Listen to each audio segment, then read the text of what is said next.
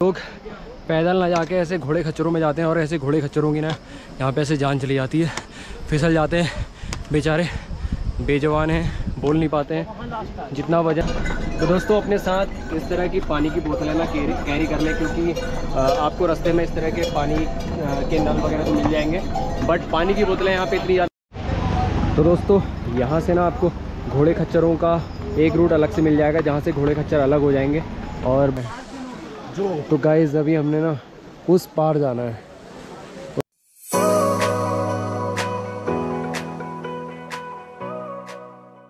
तो दोस्तों, अगर आप केदारनाथ आ रहे हैं ना तो आप इस टाइप की लाठी ज़रूर ले लें, क्योंकि ट्रैकिंग करने में काफ़ी ज़्यादा दिक्कत होगी और ये आपके लिए काफ़ी ज़्यादा हेल्पफुल होगा, क्योंकि हमने यहाँ से लगभग 19 किलोमीटर की ट्रैकिंग करनी है, जो कि भैया हमें इस लाठी के सहारे हमें काफ़ी ज़्यादा ईजी होगा। तो फ़िलहाल अभी हम लोग ये लाठी वगैरह लेते हैं तो ये हमें जो लाठी पड़ी है यहाँ से ये चालीस रुपये की पड़ी है और बाकी इसको लेके हम निकलते हैं आगे की तरफ़।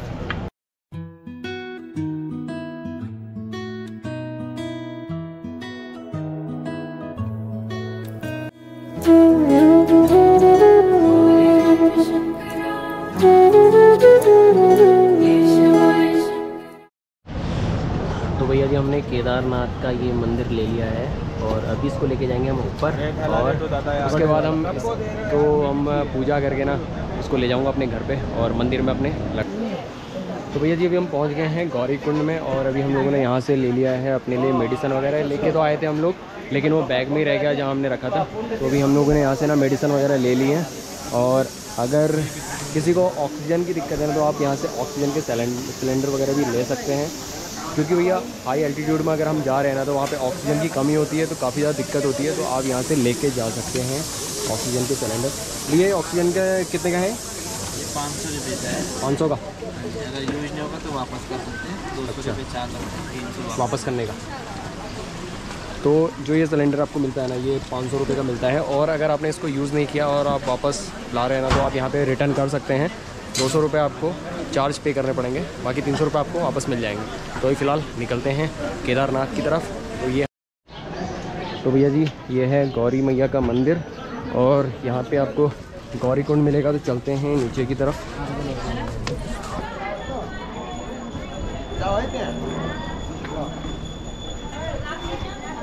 तो दोस्तों, अभी हम लोग पहुँच गए हैं गौरी माई के मंदिर में। ये है सामने गौरी माता का मंदिर। और यहाँ पे एक छोटा सा कुंड है। और दोस्तों, ये है गौरी माता जी का मंदिर और कहते हैं कि यहाँ पे गौरी माता जी ने तपस्या करी थी। ये गौरी मैया जी का तपस्वी स्थल है। तो अभी चलते हैं गौरी कुंड की तरफ़।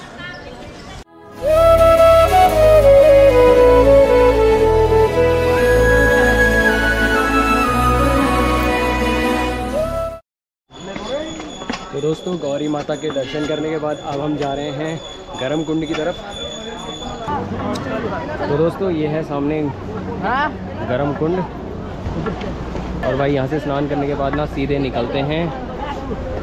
केदारनाथ की तरफ़। हमने तो खैर अपने होटल रूम में ही नहा धो लिया था। तो अभी हम लोग यहाँ पे गर्म कुंड में स्नान नहीं कर रहे हैं अभी हम सीधे निकलते हैं केदारनाथ की तरफ़। तो दोस्तों मैं पहुँच चुका हूँ घोड़ा पड़ाव पे। और यहाँ से आपको घोड़े खच्चर वगैरह मिल जाएँगे। अगर आप घोड़े खच्चर से जाना चाहते हैं तो मैं उनसे ना एक बार चार्ज पता करके आपको बताता हूँ कि क्या चार्ज है यहाँ से ऊपर केदारनाथ के। तो ये है भैया घोड़ा पड़ाव। क्या चार्ज है पैंतालीस पैंतालीस सौ। कितना घोड़ा तो भैया जी यहाँ से ना आपको जो घोड़े खच्चर हैं वो आपको मिल जाएगा पैंतालीस सौ रुपये में, चार हज़ार पाँच सौ रुपये में ऊपर केदारनाथ तक।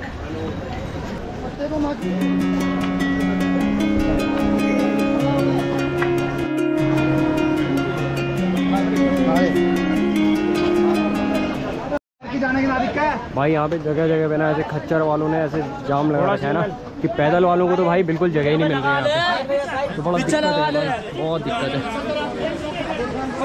कुछ आने वाले हैं कुछ जाने वाले हैं। खच्चर यहाँ रोकने वाले हैं। और खच्चर हमें रोकने वाले हैं। इन खच्चरों की बदबू तो भाई अगर आपने इस तरह से पिट्ठू में जाना है ना तो इसका चार्ज वज़न के हिसाब से चला जाता है यहाँ पे। और मैंने पता किया तो तो 20 किलो से 30 किलो के बीच का लगभग पाँच से छः हज़ार रुपये है, जो आपको केदारनाथ तक ले जाएगा। और 60 से 80 किलो के बीच का यहाँ पे दस हज़ार से बारह हज़ार रुपये चार्ज किया जाता है। तो अभी यार हम लोग तो पैदल पैदल ट्रैक करते हुए जाएँगे।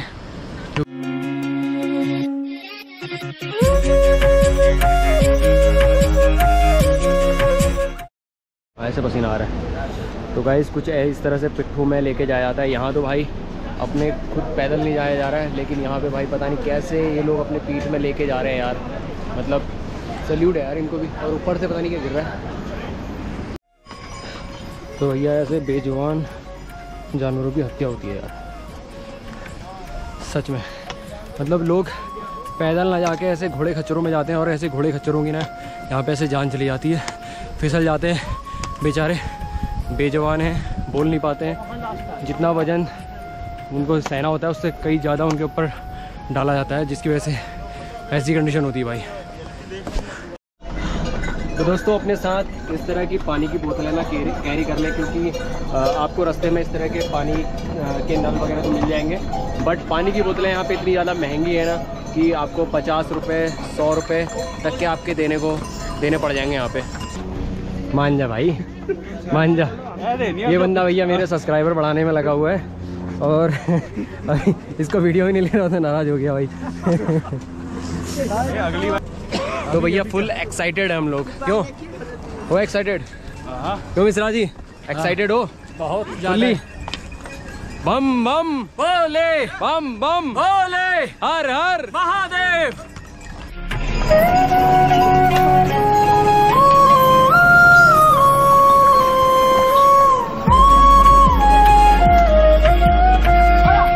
दोस्तों, चलते चलते अभी हम लोग ना यहाँ पे आ गए हैं और अभी यहाँ पे कुछ खा पी लेते हैं। तो भाई, अभी यहाँ पे हम लोगों ने स्टे किया है थोड़ी देर रुकने के लिए। तो थोड़ी देर यहाँ पे रुकते हैं और कुछ खा पी लेते हैं। तो यहाँ मैगी वगैरह का ऑर्डर दिया है। खाने पीना तो काफ़ी ज़्यादा है यहाँ पे ना मतलब महँगा मिल रहा है क्योंकि पचास रुपये हमें यहाँ पे मैगी का मिला और चावल कितना है? एक सौ साठ रुपये एक सौ साठ रुपये चावल का है यहाँ पे। तो चलो कोई नहीं, फ़िलहाल अभी मैगी का ऑर्डर दिया है। मैगी खा लेते हैं। और फिर आगे कंटिन्यू करते हैं। तो भैया जी, मैगी आ चुकी है, अब इसमें डाल देते हैं नमकीन और इसके बाद फिर खाते हैं इसको।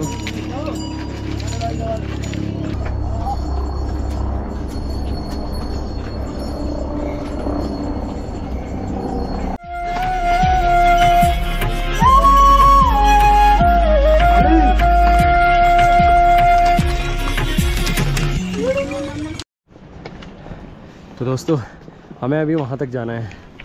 तो अभी मैं एक मतलब नीचे मैगी खाने के लिए कहीं पे रुका हुआ था।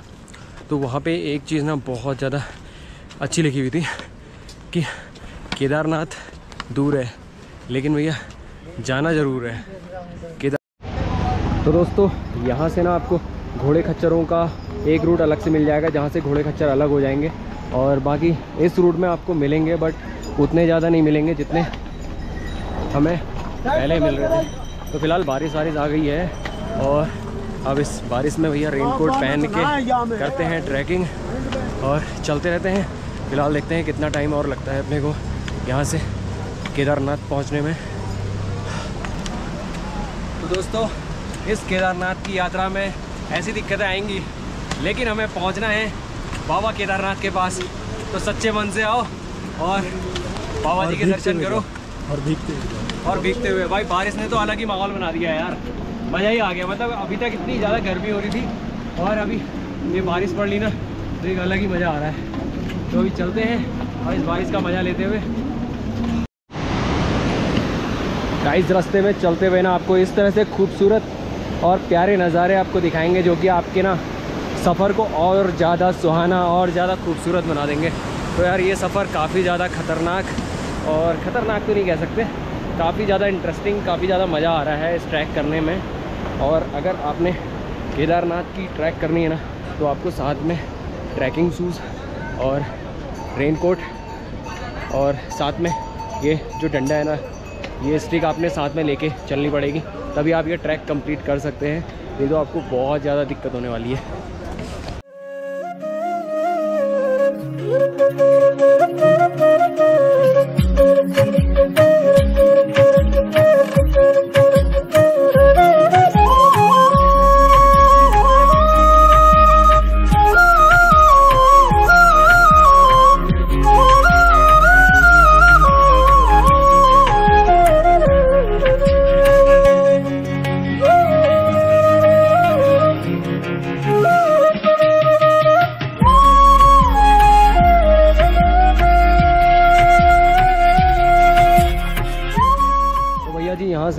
रास्ते कटते हैं। एक रास्ता ये जाता है जो खच्चर, खच्चरों के लिए बना हुआ है। तो इससे ना खच्चर घोड़े वगैरह जाते हैं और ये है रास्ता है। ये है पैदल रास्ता। तो अभी चलते हैं पैदल रास्ते में। जो तो गाइज़ अभी हमने ना उस पार जाना है। उस पार। अभी यहाँ से ना लगभग पाँच किलोमीटर और दूर है। तो भाई हालत इतनी ख़राब हो गई ना। बता नहीं सकते कितनी ज़्यादा हालत ख़राब होगी। क्योंकि फ़र्स्ट ना लंबा ट्रैक हमने पहली बार करा है। तो भाई रुकते रुकाते ऐसे आ रहे हैं ना हम लोग, लेकिन हालत ख़राब हो गई सच में। मतलब ये फ़र्स्ट एक्सपीरियंस था कि इतना लंबी ट्रैकिंग इतने ज़्यादा मतलब लगभग 19-20 किलोमीटर की हमने 22 किलोमीटर की हमने ट्रैकिंग करी है, ये फ़र्स्ट टाइम था, क्योंकि दो, तीन, चार किलोमीटर तो खैर हमने कराई है, लेकिन ये फ़र्स्ट टाइम है तो हालत ख़राब होगी भाई। तो अभी फ़िलहाल हमें इंतज़ार है कि फटाफट से बेस कैंप तक हम लोग पहुँचें, वहाँ जाएँ, जाके रेस्ट करें, और शाम को पता नहीं यार केदारनाथ जो आरती का है आरती के लिए हमें टाइम मिलेगा या नहीं मिलेगा कुछ कह नहीं सकते। तो फ़िलहाल निकलते हैं अब यहाँ से फटाफट। तो हमें ना कुछ इस तरह से अगर बैठने के लिए कहीं भी मिल जा रहा है ना तो हम बैठ जा रहे हैं। तो अभी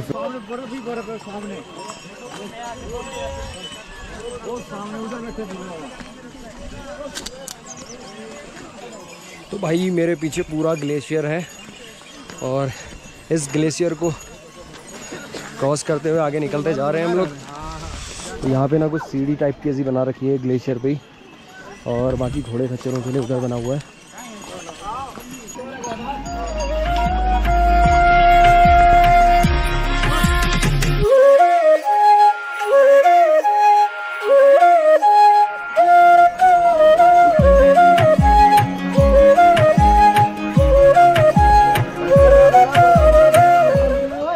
दोस्तों फाइनली हम लोग पहुँच गए हैं कैंप में और अभी यहाँ से केदारनाथ लगभग एक किलोमीटर है। तो मॉर्निंग में हम लोग एक किलोमीटर तो खैर ट्रैक कर लेंगे। बाकी भाई, इस तरह से कुछ अपना ये कैंप है। और तो बाकी इसका क्या चार्ज पड़ा और ये, वो मैं आपको नेक्स्ट वीडियो में बताऊँगा। तो फ़िलहाल इस ब्लॉग को यहीं पे एंड करता हूँ। उम्मीद करता हूँ आपको आज का ब्लॉग पसंद आया होगा। पसंद आया हो तो लाइक करना शेयर करना सब्सक्राइब करना। मिलते हैं फिर से किसी नेक्स्ट ब्लॉग में। तब तक के लिए बाय